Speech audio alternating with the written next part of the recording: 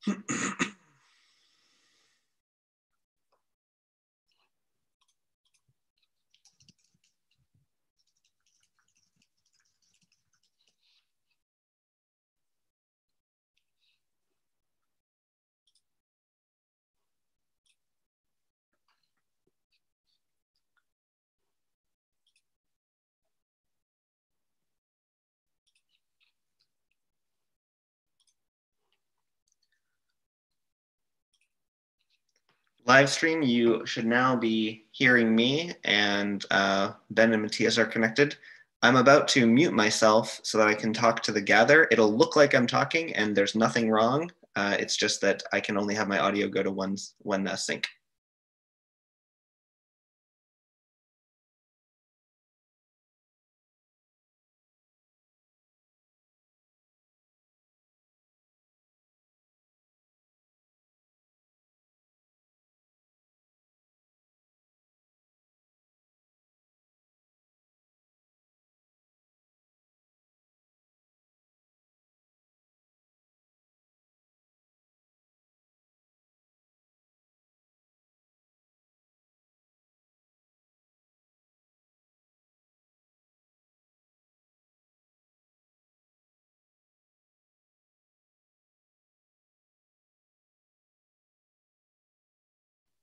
Oh, someone said that the certificate for Gather just expired, like during the last break. So it's tough to get back in. When you say the certificate, you mean like their HTTPS certificate? Yeah. That's awesome. so you can get in unsafely, I think, but otherwise, no. Um, Gather is uh, pretty cool.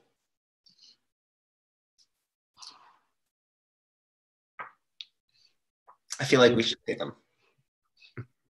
Once I figured out the local chat to get someone's attention, I was very happy with it. Before that, I felt trapped in this little body. Like I can't do anything to. Yeah, you can't like tap on somebody. I think uh, in terms of technology, it's pretty tough still. When there were more than nine people and there was four, more than four people in one location, like uh, things broke up. Yeah, I think that um, you know, if there were if there were ten people standing around live, all talking to each other, you really couldn't do that. You know what I mean? You got to have like set up some order. No, uh, but if ten people stand there and one of them talks, then you can hear that one person, and that was not the case here. Yeah, and I think it's because like you know, there's it's like the classic Zoom problem of someone doesn't realize their mic is on, it's buzzing, etc. No, I think it's a problem of having several pipes. In, so in in Zoom itself, if you have 50 people on, it's one pipe going back and forth. If you have Gather, oh, I see what you're saying. You think it's like a tech thing where there's, um, yeah, that makes sense. Like a line is a very dangerous uh, data structure. Gather, you want to be in circles.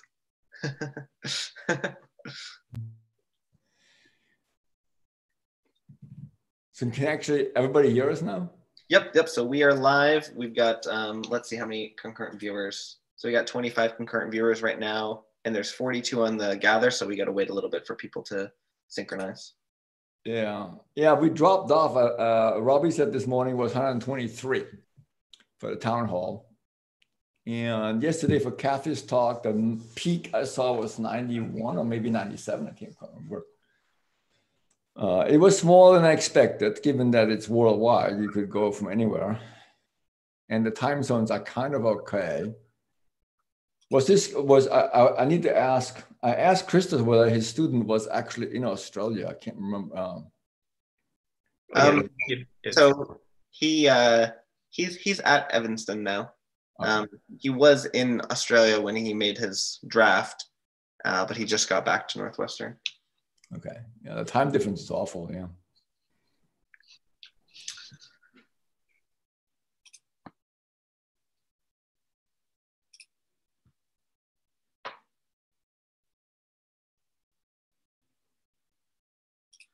All right, we are getting to parity right now with the groups, so um, we will get started. So um, we've got our uh, last session of the day, this is going to be made up of um, one talk and one discussion. Um, so the first is uh, a talk from Ben Greenman that will be about um, shallow typed racket. Uh, Ben's here. Say hi, Ben. Hello, Racket. and uh, we'll have questions directly after as usual. And then uh, after Ben, uh, we'll do an Ask Me Anything with Matthias, uh, where Matthias will answer uh, questions from the peanut gallery. Um, I, uh, I people ask why, why does the website refer to him as the CPS? This is the Chief Philosopher and Shepherd. So that's the that's the official title that Matthias has in the Racket organization. So anyways, so you can ask any uh, shepherding or philosophy questions for Matthias. But what we'll do right now is I'll mute myself, uh, turn off the video for all of us, and then we'll go uh, watch Ben's talk and we'll come back and talk to him.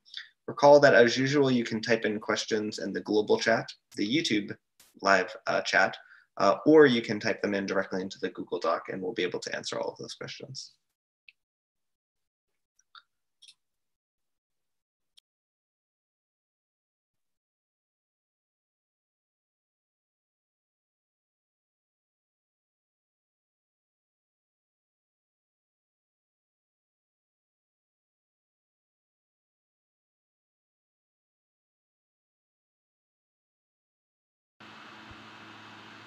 Okay, hi everybody.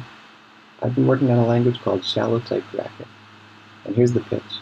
Compared to normal deep type racket, shallow gives you the same types but weaker. And I'll tell you why that's a good thing. First, by the same types, I mean it's the same language of static types and the same type checker that you're already familiar with.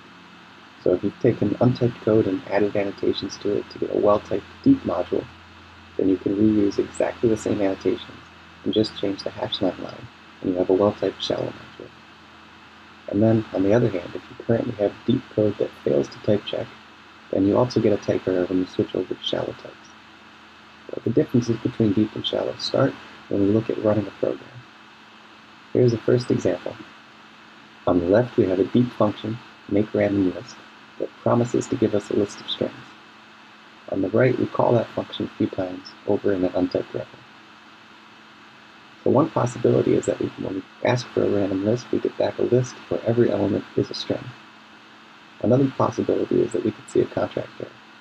So if deep communicates with untyped code while it's making the list, and one of those communications doesn't match the deep types, then we'd see a, a boundary error like this one. Now, on the left, we have shallow code that prompts promises a list of strings. If we call this a few times from untyped code, we could, like before, see a list that contains only strings, and we could see a contract error due to shallow communicating with untyped. But other things can happen too. We could get back a list that contains numbers, or a list, or anything else. So here, the promised list of string is turning into a guarantee that we get back a list, but no guarantee about what's inside the list. Here's a second example. Deep promises a function that computes a string. If we call this make random function a few times from untyped code, if we get a value back, we can be sure that it's a function. And then if we call that function, we can be sure that it's going to give us back a string. Otherwise, the deep type will find the mismatch and stop the program. If we have shallow code that promises a function that returns a string, and we call that from untyped code, then any kind of result can come out. We might get a string, or we might get a number.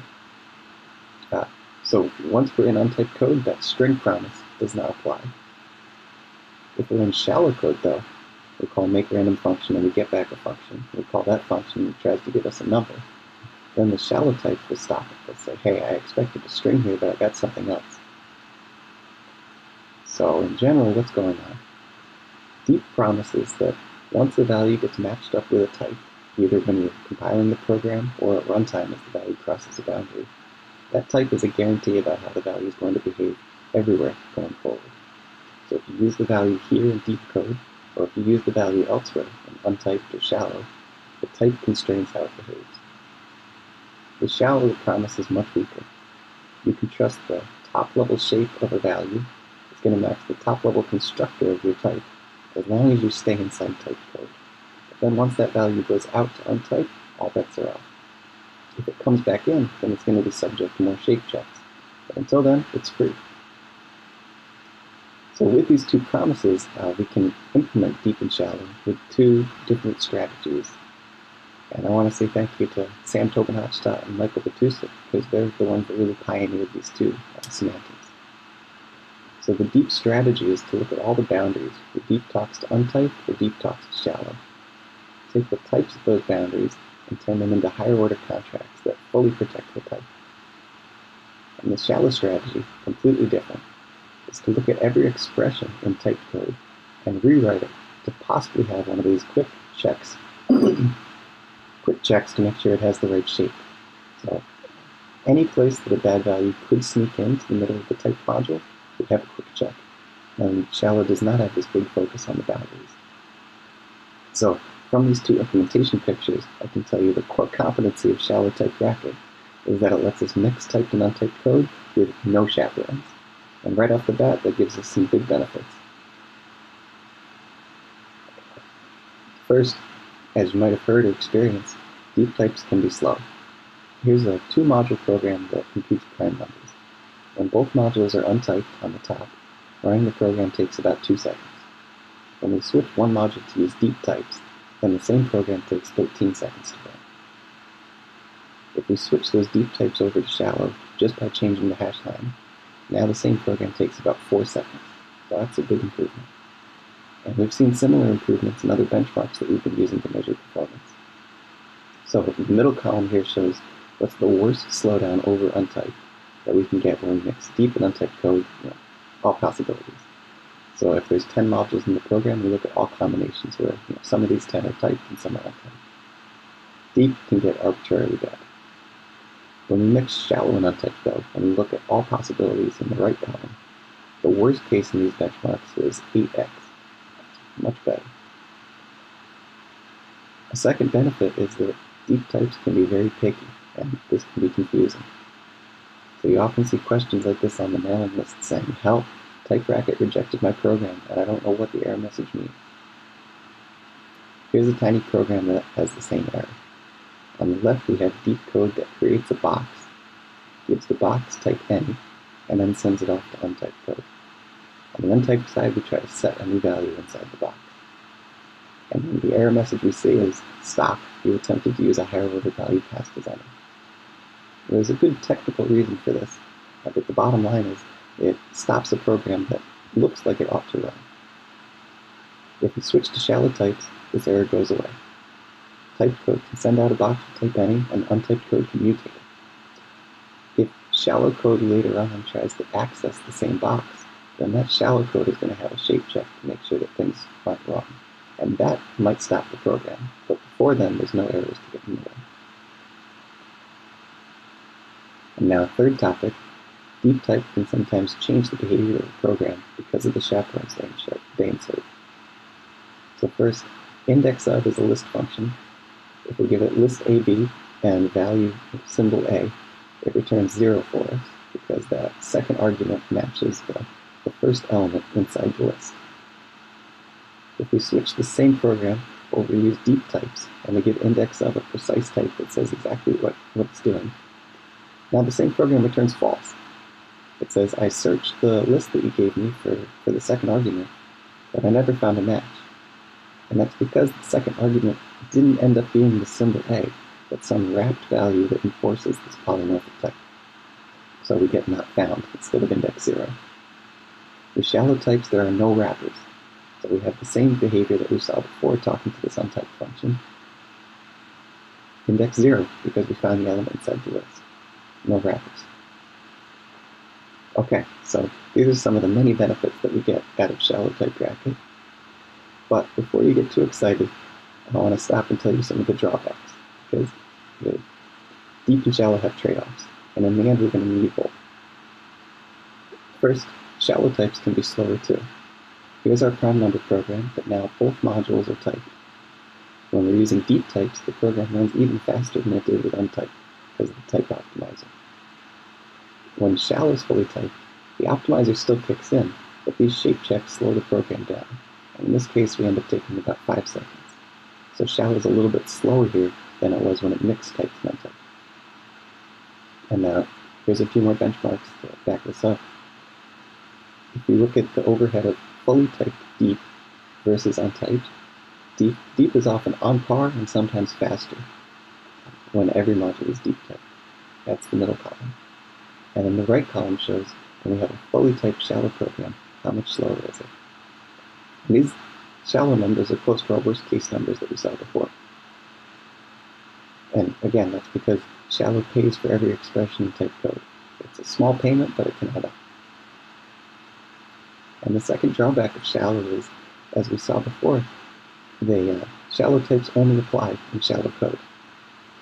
So with our make random function, we saw sometimes shallow can miss a mismatch between a type and a value. In a larger program, this uh, missing check can lead to something that's much harder to debug. You don't know where your program started to go wrong, but eventually you wind up with some wrong result. And then, even if shallow can find the error and stop the program, it's nowhere near as good at giving blame information as deep types are. So the deep stronger guarantees is of much bigger help for debugging. So yeah, these are the drawbacks, and they're, they're definitely drawbacks. So again, we have this three-point space, and I want to end today with some recommendations about how do I choose if I'm interested in Typed Racket between deep and shallow types going forward. First, if you have a specific problem, if you have a program where the boundaries are slowing things down incredibly, or if you have some error that doesn't make sense with the deep types, then switch over to shallow, and both these problems should be fixed. And if you know that you want the full power of types, or you have a program where all the critical boundaries are between deep modules, and there's no expensive typed-untyped communication, then switch over to deep and get the full power of the deep types. You get better optimizations and fewer runtime checks. And then a general recommendation is if you're migrating, you're starting with untyped code and you're moving it into Typed Racket, go to shallow first. Shallow should be more accessible, easier to use. And then once you've got types worked out and the boundaries worked out, then think about switching over to the full strength of deep types. Okay, so that's shallow Typed Racket. It's coming soon. I'm hoping early next year. And with that, I'm happy to take questions.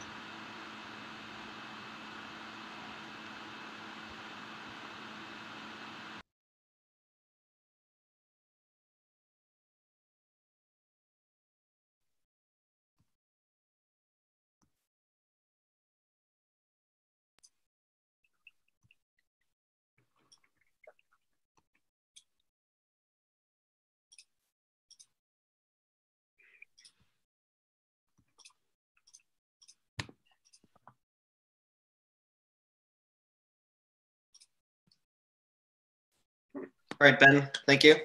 Okay, hello. Okay, so we'll um, switch now to questions.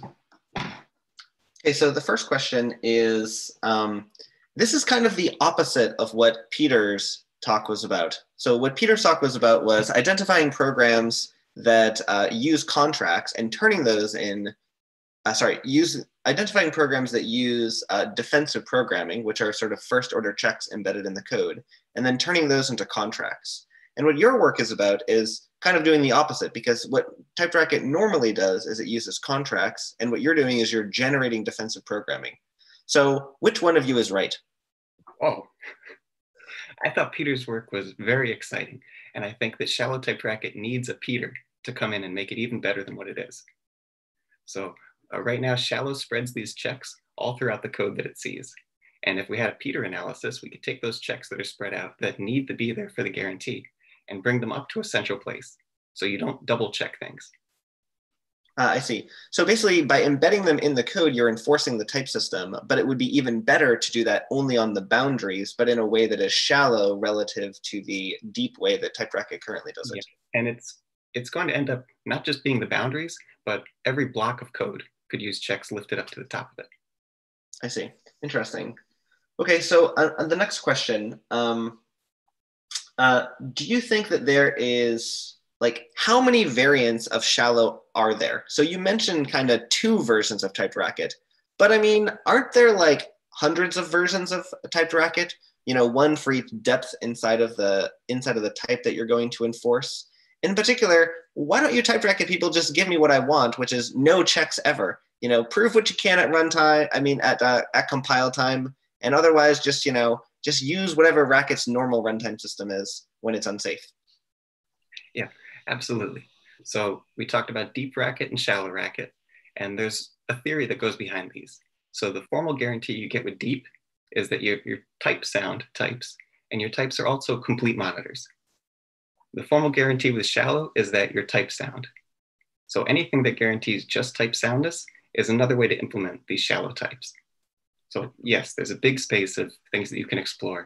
Uh, the same paper that works out the theory also works out some other alternative ways to implement shallow. But we picked this one, the transient semantics, because of the no chaperones. I think it's a very promising direction. And as you saw, it gets rid of some errors that we currently have that, yeah, very tough to explain. So this is kind of the, the weakest way that we can still get the power of shallow types. Great.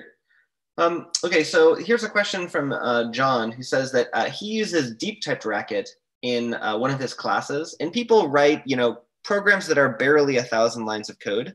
Um, but when they run these programs in DrRacket with uh, debugging and debugging and profiling turning on, uh, basically, you know, you have to go make a pizza before your compile time is done. So does type does a shallow typed racket help with the compile time, or is it only a runtime thing? John, I'm sorry. It's only compile time. It's exactly the same type checker that your students are already suffering with.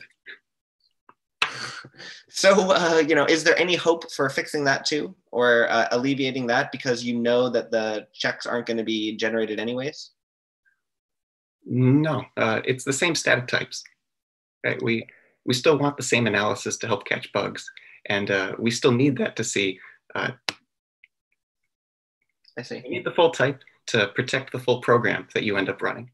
Right? So maybe you explore a full expression, and then you need every part of that type to generate a new check and maybe you only explore part of the expression and then you could get away with fewer types but either way we need them all at compile time and i think in the end you you want them. I, I can't imagine a useful partial static type checker but that's something we could talk about after. Okay. So another question um, does it make sense to mix shallow and deep typed racket together in the same way that a normal typed racket and untyped racket sorry an un and normal racket are mixed together? Like is there a composition story between the two of them that is fruitful? Yes, absolutely. So shallow and deep can talk to each other safely, and the deep types are still deep, and the shallow types are still shallow. And there are programs, depending on how you're organized, this can be a good way to, this can be the fastest way to run your code. So the shallow code is good fit for talking with untyped a lot. So if there's a lot of communication happening, put shallow at the boundary there. And then the deep typed code can be off in another corner. You know, doing some focused computation. And then once in a while, it talks to shallow, which goes out to untyped. So yes, you can mix deep and shallow, and I hope that you do, and uh, we can find out other ways that it's a good benefit. Great. Um, so um, what's the story with optimizations for shallow typed racket? Are the optimizations turned on, or is are, or should we assume that the optimizations are turned off because they rely on too much of the trust that you don't have? optimizations are turned on. And I was very surprised to, to learn how many I could turn on. So shallow can use the very top level of a type to do optimizations. And it turns out typed racket has about 15 different topics that it optimizes. And out of those 15, only two use more than the top level of the type. So dead code is turned off and deep access inside pairs. If you use, you know, cdr, that doesn't optimize anymore. But other hmm. than those two, all others are turned on. And uh, why does dead code not turn on? I, it kind of makes sense why cdr wouldn't work because that is you know a deep property. But what's what's with the dead code elimination? Yep, uh, dead code depended on a full type. So one example is you could have a, a case arrow function, a case lambda, but you give it a type that just has a single arrow. And according to that type, some of those branches of the, the case lambda are not accessible. But the shallow type doesn't give you that guarantee you can still get into any branch once the function crosses to untyped. Hmm. Um, I'm going to read a question um, and I'm going to try to interpret it as well. So someone says, can I get an expression that says what type it is expected to be to yield? And that's checked at runtime, but whose contents are not statically checked at all. So I think this means, uh, does shallow typed racket, because it allows you to put on, because it's going to end up with first order checks anyways, does this allow you to embed untyped code inside of Typed Racket? Uh, well, we currently have the with type with type uh, form in Typed Racket, which lets you embed untyped code inside typed. That might do what you want. And, and so uh, this, it sounds like this is just the the feature that he's looking for, and uh, that's something that works in shallow and deep Typed Racket. And we can talk after. Yeah. Yeah. So I think that that's the answer, Hendrik. Um, where so you know we talked about how there's all these different things. You have this paper. I know that you've been working on many different things for a long time, Ben. So like, what is what are you like committed to do next on this project? Uh, get it released. okay, but like after that, you know, what's like the next thing? The next thing after shallow, we want to understand how it's being used. Uh, we want to talk to more developers. How is Racket working for you? Uh, how is shallow Racket improving things for you? And then use that feedback to go forward. Do you think it would be good if we had some sort of survey of users of Typed Racket? Oh, I'm so glad you asked. yes. So I sent a, there is a survey out right now asking how can Typed Racket, you know, better suit your needs and experiences. If you've just heard of Typed Racket and never used it, please fill it out. Okay, so the, the link is tinyurl Typed Racket survey, but I'll post it in the gather. Awesome, great.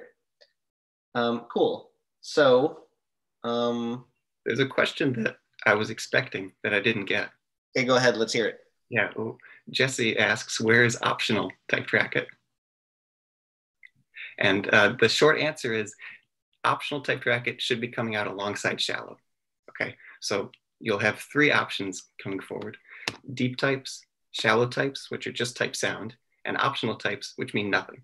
Optional types are static checks only, but they don't add any contracts or any runtime overhead. So it's a little different from the no check line that we currently have because the type checker still runs. But uh, those three should come out together and they'll all be able to interact. So let me, let me make sure I understand what optional does. So if I have a program that uh, the type checker would fail on it, optional fails and, I, and I'm not allowed to compile it. Exactly. The only thing that optional does is it means that when your optional program interacts with the rest of the world, the untyped world, all bets are off. Yeah. And so that presumably means that there's no optimization. Yeah, there'd be no optimization in the optional. Mm, interesting. Uh, yeah. Okay, cool. Yeah. Cool. And optional is a very uh, disappointing thing. You know, the, the original vision with deep typed racket was let's take all the guarantees we get from static types in a fully typed language, and let's bring them to interact with untyped code. So now we can have these two worlds together. And it turns out there's a lot of friction. So okay, let, let's fall back to stat shallow. Now we still have type soundness, that, that's something, but we haven't given up completely. Optional is giving up completely. And if we need to be there, well, so be it, but we're trying to pursue types with guarantees. Hmm. And so uh, to, to go back to John's question, basically optional gives us slow compile time and slow runtime. No, no, no. Optional would be fast runtime. If, if you're optional and untyped, there'd be uh, no contract to slow it down. What I mean is, is that uh, no yeah exactly no no optimizing but it's not uh, it's not the um, it's not the aggressive bad performance that we see sometimes uh, when there are these loops between uh, untyped and typed programs. Yeah, you won't see 14,000x with optional yeah. um, so um, I think that a lot of people are familiar with tools like TypeScript and whatnot. Uh, can you help them categorize TypeScript relative to these different variants of typed racket that you've talked about? Um, because I think that uh, that's something that uh, maybe people don't understand that typed racket and these tools are not the same thing. Yeah, TypeScript and almost everything else you see with an industry language is optional. So MyPy, Flow, they're all optional. The types are a static analysis and they mean nothing when you run the program. And it gets confusing because sometimes you hear that TypeScript is sound. Well, it's not actually sound, but what they mean by that is if you have a TypeScript program where every line is type checked, then you have type soundness. And that guarantee doesn't talk about interactions. Uh, but yes, TypeScript is optional. I see. So basically the idea then is, is that there's this higher standard that we in Racket have been holding ourselves to with regard to type soundness. And this new thing that you're talking about, optional, will be a way of having typed racket, sorry, having racket be able to do the same kinds of things that we're seeing in industry languages, in addition to the even greater guarantees that it already provides. Yes. So we really have this slider going from untyped to weak typed to strong typed. And let's explore. Great. Um, remember how we uh, how you alluded to the with type construct, and um, people have been talking about this. And uh, just to make sure, they say that uh, it seems that with type allows a typed region to go in untyped code. Okay, but not the other way. And what they're interested in is the ability to have, I have, my program starts with #lang typed racket, and then in the middle of it somewhere, I put some untyped code. So okay. it's really with untyped. I think that's what people are interested in. And so the idea then is that you, you know, you annotate what the type is going to be, and then that gets turned into a check. Mm-hmm. So that's the request that people have. Okay. Yeah, the only workaround I know for that is to put an untyped submodule in your program. But if you're interested in this anti-with type, please put it in the typed racket survey so we know how much pressure there is to get this out as soon as possible. Mm, that's a great idea, Ben. Well, cool. Well, thank you very much, Ben. Um, we will now switch over to the questions for Matthias. Um, so, Matthias, turn on your video, and we'll uh, we'll go from there.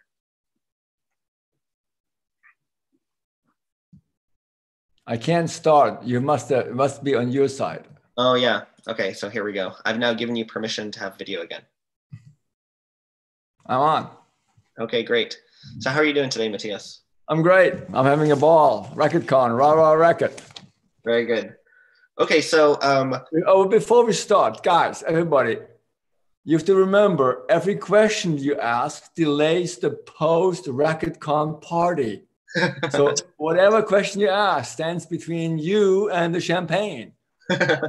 Don't ask too many. Very good. Okay.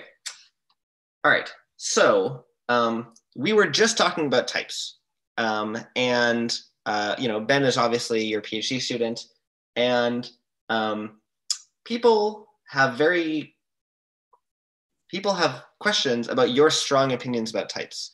And in particular, here's the first one, which is that what is your understanding of the word type? How would you define it? And do you think that your definition is different than other people in industry think about type and other people in programming theory think about type.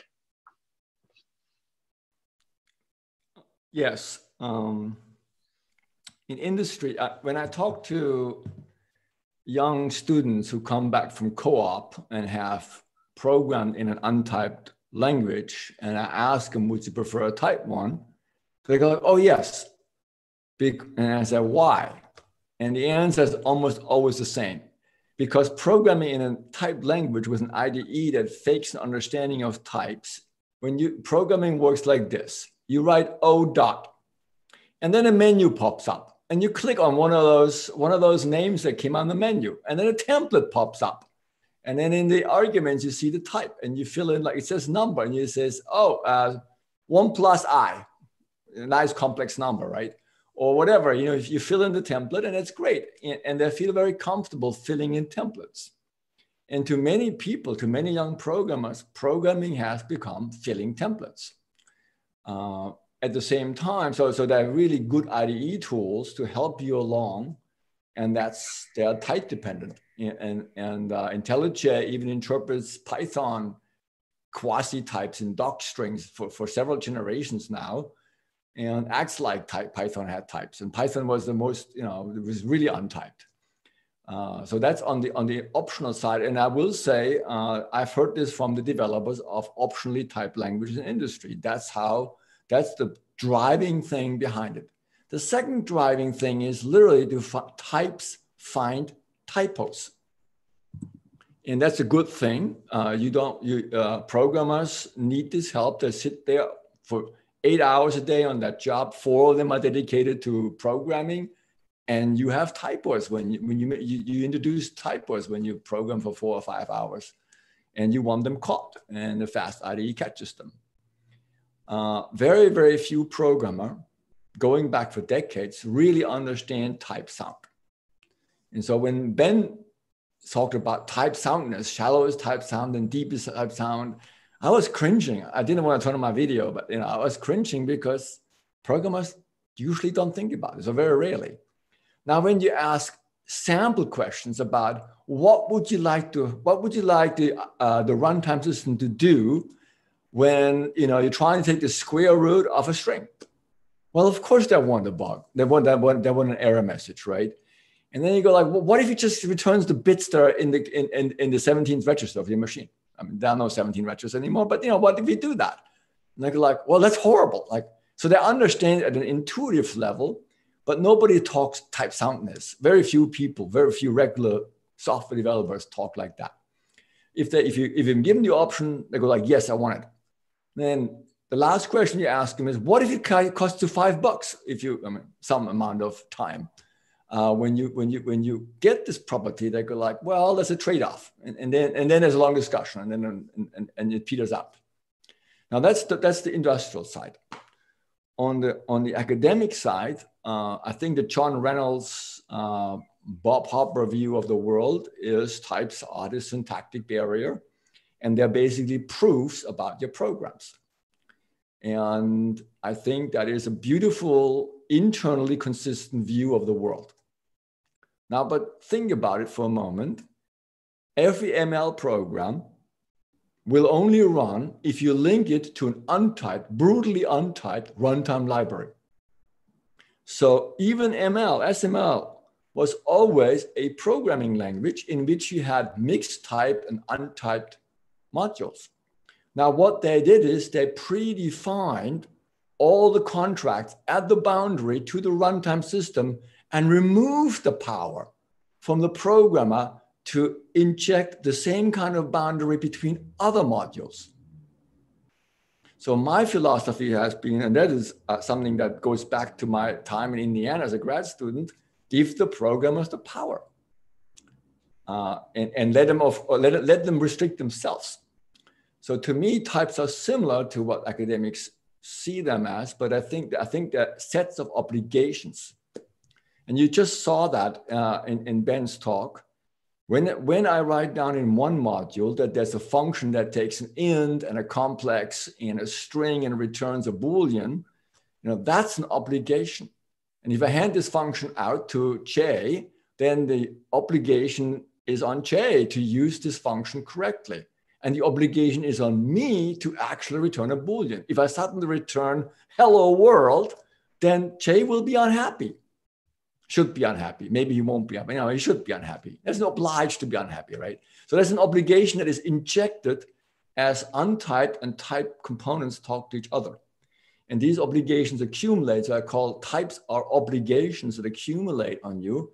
And, and every time you check something about them, they're discharged deep checks discharge them in a much more, in a much stricter way.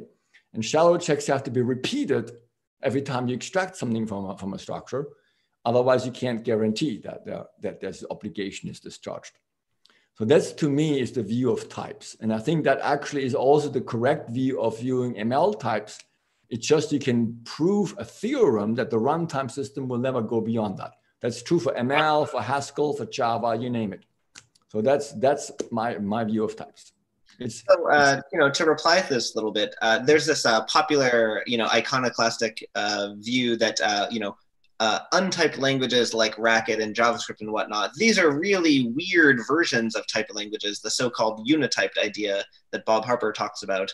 And you're almost saying kind of the opposite, where you're basically saying all those typed languages, they're actually really untyped languages because they have to interact with an untyped um, you know, runtime system and substrate that they'll run on.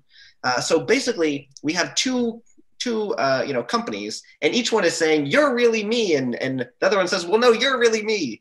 And this makes me wonder whether or not there's some. Uh, I mean, obviously, we know that Matthias is right, okay, but you know, we could imagine that maybe Bob was right.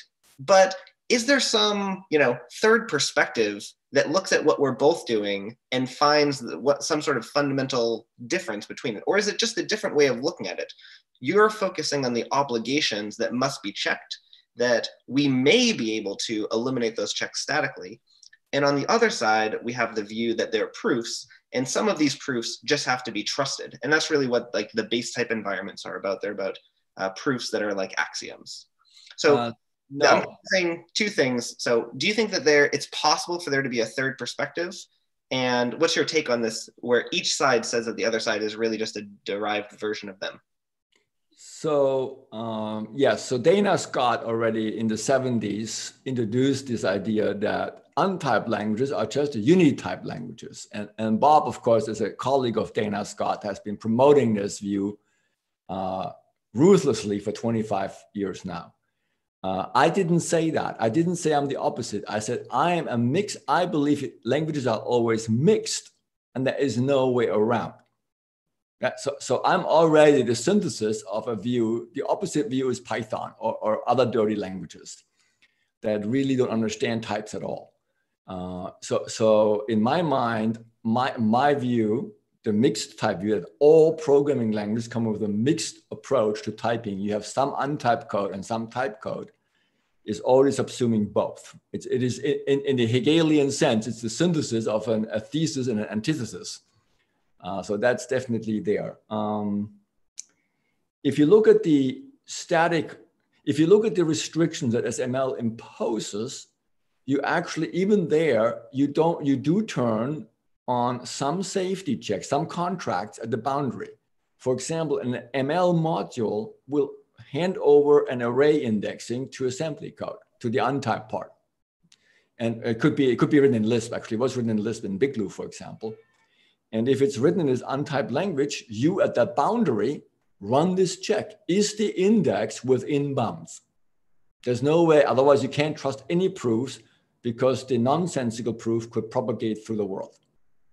A different view would be uh, there's a, there's a philosopher logician called Feferman at Stanford for a long time who promoted this view that everything starts untyped. So, so did, in principle, Nuprl, the, the proof assistant at, at Cornell that Bob's advisor built. Everything, the whole world is untyped. It's an untyped universe of sets, and you build types on top of that. And the other view, the dual view that, that Jay alluded to, is the view of other uh, uh, people, people like Martin-Löf uh, or Tait, or uh, um, what's our French friend? Uh, um, uh, Girard. Girard. Oh, yeah. Uh, those people see the world primarily typed. Everything is typed. And, and I just think if I look at the real world, the absolutely real world, there's nothing untyped and there's nothing typed. You can, of course, put your fingers in the outlet. Nothing prevents you that. And then your, your kids will have, you know, a shock, an electric shock. Uh, and, and, if the word were typed, it wouldn't happen because with statically checked, you always put the proper plug in the proper outlet. Uh, so, so I, I, that, that's why I believe Feferman and people like this were right, and and uh, and the people who think of a, a universe is typed is just it's just bogus. Mm. So, follow up on this. Um, I think many people would say that mathematics is naturally typed and programming languages are just creative mathematics. I believe I've read that in a book that uh, someone uh, that I know wrote. Um, so, do you disagree with that sentiment, or do you not think, or, or, maybe you agree with it, but don't think that mathematics naturally is typed in this way? There's this idea that you know programming languages as math versus programming languages as code, and code is like what things do and thinking about how things run. Can you kind of reply to this idea?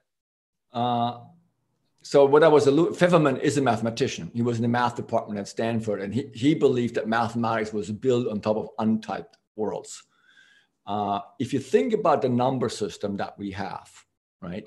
Mathematicians deal with numbers exactly like Racket and Scheme and Lisp deal with numbers. We don't have a, we, we, naturally go from byte style numbers to integers to rationals to reals to complex and back down. We don't see the boundaries, hard boundaries. You, you can't do that in a language that have static types the way they were built by the uh, disjoint type people, the, the, type mathematicians. And the whole idea behind the hot stuff that came out in the last 15 years, you know, high, uh, homotopic type theory, that is in some ways they're actually trying to build a type, mathemat- uh, type mathematics. Type mathematics was not typed initially; it was untyped. And types are used in the same as us. They're sets, they're soft boundaries that you know you don't cross. End of story. Hmm. So um, we've kind of been talking about uh, these like two kind of dual notions about what programming languages and code is. I want to bring, I want to ask you about uh, kind of another notion of duality. Uh, so you know your namesake CPS. Uh, so continuations, they are the dual of values, right? So there's this idea that there's production, which is what values are, and then there's consumption, and the continuations are consumption.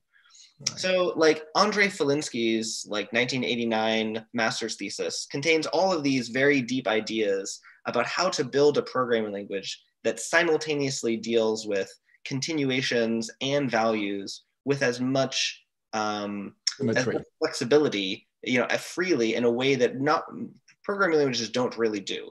Um, so I'm very curious about what your perspective is on whether or not continuations and a language like this like is valuable or useful. Do we just not know enough about it?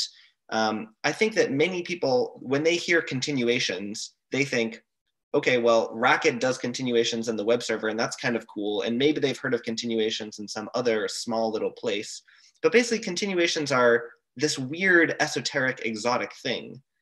And this dual way of thinking about the world tries to make them uh, front and center all of the time. But programming languages don't actually work like this. So why do you think that is? Why, why do you think continuations are so hard for people to understand? Is it in people's minds or we haven't built the right language yet? Uh, I don't think I don't think programmers think in the terms of symmetry that Filinski hinted at at his master's thesis. And Filinski, to his credit, kept working at it and tried to finish a doctoral thesis along those lines. It didn't quite work out, so finished something different. And he's he continued to work on this, but he has not produced a programming language. Um, I think a closer take on that, uh, uh, uh, something that almost works in those directions, is call-by-push-value by uh, Paul Levy. Uh, again, a completely theoretical model that one of my colleagues in the lab has, Amal Ahmed, has used for, uh, she and her student Max New. Uh, he's defending tomorrow dissertation. I think that's a Zoom Zoom thingy somewhere, so you can you can log in and hear about call-by-push-value and how useful it is as an intermediate compilation language to to build theorems. Uh, so I believe this view, this duality and this symmetry that that that, that Filinski pointed out, and, and people knew about in some ways, but didn't quite handle it. Uh, and that Paul uh, Paul Levy did. Uh, I think the symmetries are good for theoretical thinking, but I don't think that's where software developers sit. And that's I don't think that's where programmers sit. Uh, my own view of practical uh, continuations has dramatically shifted over time when I when I did my dissertation, of course, I, I, I, was breathing continuations. I was eating them for breakfast, and I fell asleep with them. Uh, you know, five years later, you realize they have they are important. Uh, uh, you shouldn't have a language without them, but maybe they're not as important as you thought when it was the only thing in your dissertation life. And, and, and so, I think we we we will find time and again we will find uses where it's just natural and I will say, uh, in the web, I didn't first realize how natural they were. And, and uh, Christian Queinnec and uh, Shriram, uh, who picked up on that work, were, were, ahead of me there. And we built this thing, and we're like, oh, yeah, this is really cool. Uh, it works out. And so the, the, the REPL in DrRacket has really cool applications of, or really cool use of uh, delimited continuations. And when Robby can tell you, talk, talk about this. And so there are corners where you really want those things.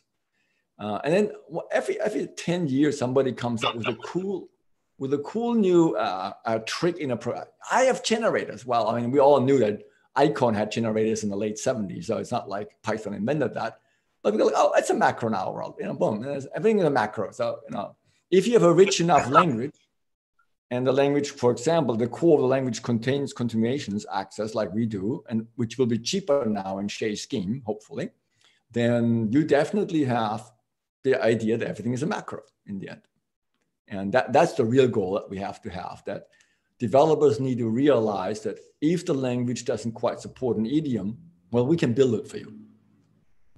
That's, that's much more important than having continuations. Great.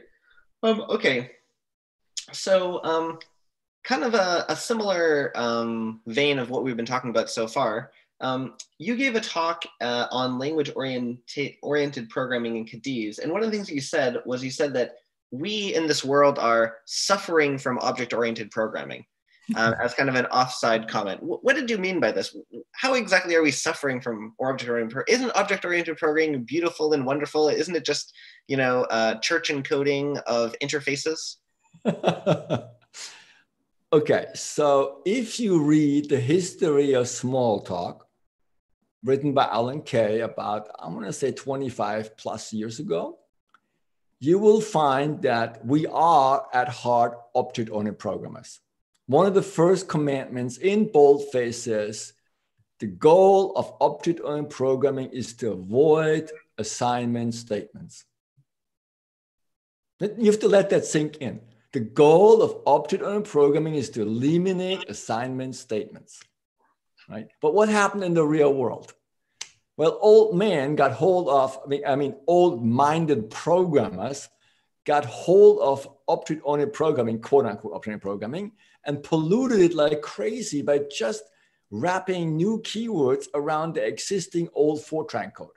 And most of you are too young to know how to spell Fortran, but it really was an awful way of imperative programming. And object-oriented programming became a more awful way because it was there were more keywords in there. And so what we what, we then suffered from was that after the Lisp wave and the AI wave in the early 80s, object-oriented programming won because they were able to do incredibly good marketing, but not the good version of object-oriented programming won, the bad one won the old people mindset object-oriented programming won. They won by having the marketing. We can build extensible software. In the early 90s, people that realized software is never finished. You need to be able to go back and glue more code on top of it. Well, we can do this in OO.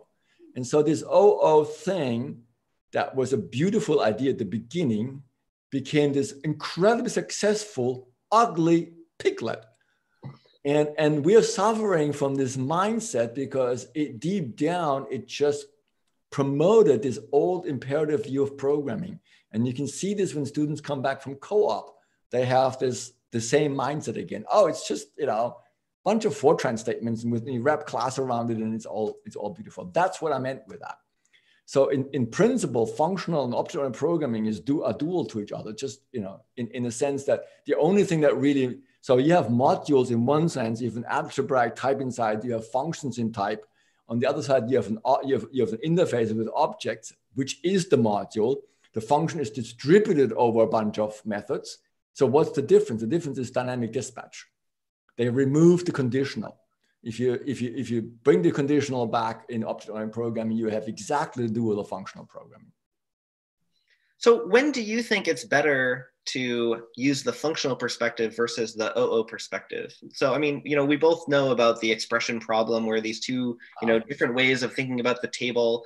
And there are many people that have tried to say, well, here's the solution to this. My personal opinion on this is that there's no solution. There's just some problems it makes sense to think about rows, and sometimes it makes sense to think about columns. How yeah. should people in the audience think about this from your perspective, Matthias? Oh, that's that's really cool. Um, so I, I have one, one semester of extreme programming experience every year.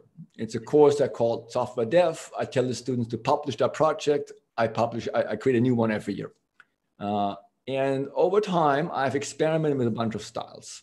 And what I started uh, at some point was I, I have, I, I, as I said before, I have a module with a quote unquote algebraic type and a bunch of functions on them. And mean, I sense that I'm really, really programming in OO style, I actually refactor this module into an OO thing uh, because I have more than one implementation. I have uh, maybe inheritance is actually helpful. And I can give you, an, I'll give you a concrete example in a moment. And then other modules that I start that way, they stay that way because I don't see a use of inheritance. I don't see a use of multiple implementations of the same OO interface. And then there's a third part of my code. The, the code is about, you know, 5,000 lines every year, or something like that, that I intensively written and a bunch of test harnesses around that. And the third kind is when I write the GUI interface to an observer or a player. Uh, and, and, and that that is of course you know GUIs you start naturally start from our OO framework and there's very little escape. I try to escape when I can, but I you know, that's that's what Matthew built and, and so I use it. Give me let me make this a little bit more concrete. Suppose you write a play a, a, an AI player for a board game. And you have a bunch of functions that the player does. For example, the player may have a game tree and explore the game tree and then deliver the next turn action. So in principle, the player is just start the game, deliver turn action, give me the state of the game, and I, I tell you what I'm going to do next, and maybe shutting down. You know, that's this typical thing. So you have that sitting there. But now you realize, well, if you really want to test your distributed game system, you want to create players that are like that, but they break at strategic places because you want to see whether students figured out that you could time out or you could return a bad result or that you could maybe raise an exception and deliver strange things and stuff like that. So obviously you want something that's like the player, but not quite. That is a hint that says, let's turn the player into a class and derive bad players that break at strategic points in those four or five method calls that you have now. And of course, what that means is you have a base player with a good player on one side, and then you have a bunch of other players, and you can lift some of the uh, some of the functionalities maybe in the base player already, right? That's an example of when refactoring you say like, oh, you know, that's where OO really works out. But then other modules like representing the game state, representing a game tree, they're all just one implementation. You don't derive anything. It's a, a plain old algebraic type with a bunch of functions on them works out fine. That's my programming style that I found over the 25 years I've been teaching this course. And it really works well that, that we in Racket have always had an, an object system different one. every, every release is a new object system. Remember that, and uh, and that we had a functional core. You know, and that that's that's how the programming style involved for me, and I believe that many other people program that way too. Cool. Um, okay, so if people like uh, listening to you and they love programming and Racket, are these the kind of people who should get PhDs? Should just everyone who loves programming get a PhD? Is that what a PhD is for? No. So let me explain my title chief philosopher and shepherd, at least the first part. So Matthew takes care of Racket, but Racket is, is Racket in the sense of the Racket core language, and he's done an amazing job. Uh, my role has been to think of Racket as a programming language in which you make programming language. And that was the original conception in some ways, maybe not exactly like we do it now, but it was, it was the, the, the, the at conception, we had this idea. And so what I've been doing, I've been producing PhDs that look very, very deep into macros.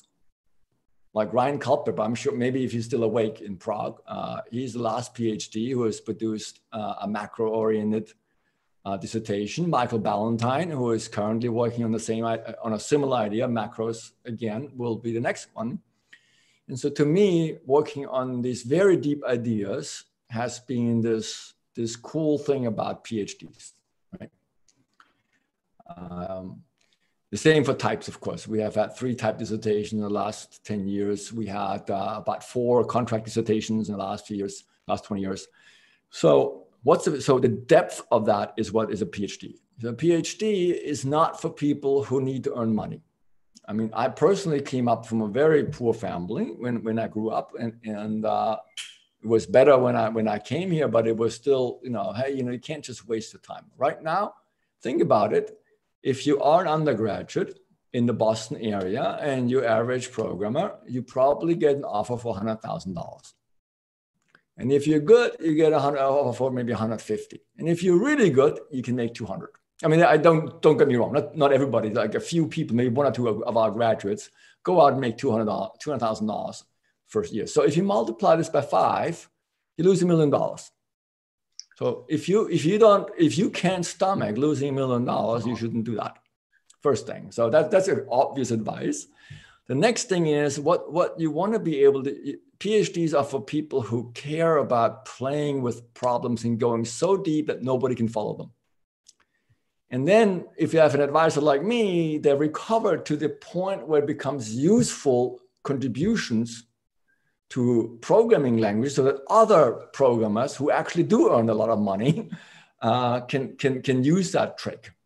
But what's hidden underneath the type system that Ben developed and that Sam developed and that Asumu developed, that that's never gets into production. So So yes, if you if you want if you want to really just think about programming and programming well, then you want to do an undergraduate degree at an institution where people care about producing good developers. That's very rare. Most most academics can't program. They're programming LaTeX if they program at all. Uh, most pro, most academics run away from teaching programming heavy courses, and most academics don't like to think about what it takes to develop good code. But if you find one of those places, you get a good undergraduate degree, you're in good shape. Cool. Um, so one of the things that we, uh, you know, reflected on this morning after 25 years of Racket is the way that some of the uh, ideas that were at the conception, as you mentioned, um, uh, have come to fruition. For instance, having quite a big impact on computer science education and being able to realize this idea of the, you know, extensible language and building the tower of teaching languages. Now, one of the goals at the beginning was to make DrRacket a, um, you know, a very useful tool for uh, beginning programmers. And it presents a very intuitive um, uh, editor that's, you know, you can spend a year getting Emacs set up to be almost like DrRacket, and it's almost okay. And so one question that I have is like, you know, we saw the survey this morning that there that DrRacket is the most successful, the most popular of all of the editors. Thank you, Robby. yes, that's great. But does this mean that maybe DrRacket has kind of like failed as a teaching tool because it's too successful for professionals? I mean, one of the things that I find really remarkable about the structure and interpretation of computer science curriculum is this idea that uh, languages that are for professionals aren't good for beginners. And is DrRacket too useful for professionals? Does that, do you think that there's any conflict between the way that Racket started off being teaching oriented is now so um, productive for professionals. Has this compromised the teaching mission at all? Uh, let me let me correct you first. Racket was never, a PLT scheme at the time, Racket was never intended to be the teaching language. We knew from the beginning, uh, well, I knew from the beginning that we wanted a different teaching language. Uh, we didn't know all the reasons why we wanted a teaching language. So when I said we wanted language-oriented programming in the beginning, the idea was that we should be able to produce a bunch of languages easily and very quickly inside of Racket. So I had experience before. We we had um, we tried this once before in an Emacs mode because I started teaching undergraduates before Matthew and Shriram showed up at Rice. And a, stu- a, a, PhD student of another advisor, Rene Rodriguez was his name, tried to build a transparent, we call it a transparent programming environment in Emacs because I had observed students for days on end and struggling with Emacs. Emacs is, a, is an amazing power tool. I did everything in Emacs at the time read email, run shell programs, eat lunch. I mean, you name it, I did everything in Emacs. Uh, and so I believed in Emacs. It was almost a demigod, you know. And then I realized students could not deal with it. And so I built, I, I tried to build an inside of Emacs, inside in, in, inside the Emacs system, ecosystem, a, a, a, transparent IDE like, like what Jay just described. And we spent a year and it didn't work. Uh, what I also did is I observed students in lab. I mean, you have to understand at Rice, we got the third best students in the country measured by SAT scores, whatever that exactly means. so the first, the number one was Caltech, number two was MIT, number three was Rice. Students of that intelligent stumbled over simple, stupid syntactic conventions that I loved. So it was obvious we couldn't do that. So uh, we built Racket, or Matthew built PLT scheme as, as, as Racket's original name, born name was, to build languages inside. We also, in the same spirit, wanted to cut down the, cl- the clutter you see in an IDE. And Robby succeeded tremendously with that. Uh, I believe the number that we saw this morning is misleading. I believe many, many people, many, many more people use Emacs to program uh, Racket than, than, uh, than DrRacket. Um, if you think of real professionals, um, I, I, I, don't because I eat my dog food. Uh, so I and, and I and I saw uh, Robby, don't, don't listen for a moment. I actually sometimes switch from DrRacket to Emacs, do some things there, and then go back to DrRacket. Okay, now you can listen again, Robby. uh, so, so it's it's that. So did did did DrRacket is still an amazing place to get students started.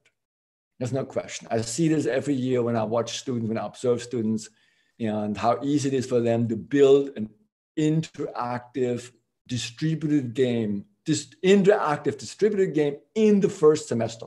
Where else can they do that, right? That it just doesn't happen. And DrRacket is an essential tool for that. I believe as a professional environment, as an IDE that has grown up, Robby has really figured out the right take on it. DrRacket is an ID, an idea. And the idea is, is migrating into other IDEs. We have seen other IDEs pick up ideas from DrRacket, and we don't have the tools. We just don't have the number of people to build DrRacket into one of those amazing IDEs that runs you know, like like other because they're produced by companies. They're produced by small groups of big big groups of volunteers. We don't have that manpower. But everybody out there who wants a better DrRacket, contact Robby. Robby will assign you work, and we'll go from there. So no, I think I think we're on a good track. DrRacket is still okay, um, and we'll go from there. Awesome. Well, uh, so this has been fun conversation. Um, God, I survived. yes. uh, there's no more, uh, you know, there, uh, you know, maybe there's a few more questions that we can have in the discussion area, but we'll uh, convert back to the gather now. Uh, there's no more, uh, there's not going to be any more live streams. This is the end of the live streaming part. Um, I'm extremely grateful for all of the um, speakers who have been working with me for maybe about two months now on their presentations. So they've all done uh, they've all done a fantastic job, and I want to give you know a super round of applause uh, to all of them. We couldn't really have RacketCon unless we have all of these speakers, um, and you know it's remarkable that we can just uh, you know fish into the racket community and get uh, so many amazing talks, people doing fantastic things, and um, of course we'll have RacketCon next year as well. And if you have uh, things that you want to present, you can uh, email me and you can say, I am going to work on this thing during the next year. And maybe we can have uh, you as one of the speakers next year. So um, I think that's all. Thank you, Jay. Wonderful job. I'm going to clap right through the microphone. I'm the only one clapping, but uh, it was heartfelt. Thank, Thank you very much for organizing. Thank you very much. I will um, see you all uh, in Gather Now. Uh, have a great weekend.